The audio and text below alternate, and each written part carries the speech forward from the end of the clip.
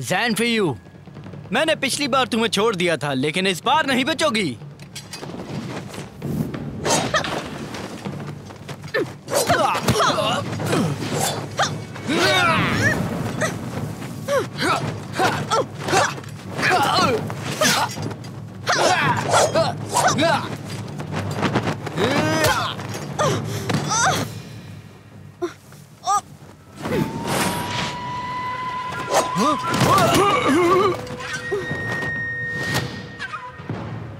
कहा था ना अकेले बाहर जाओगी तो फंस जाओगी।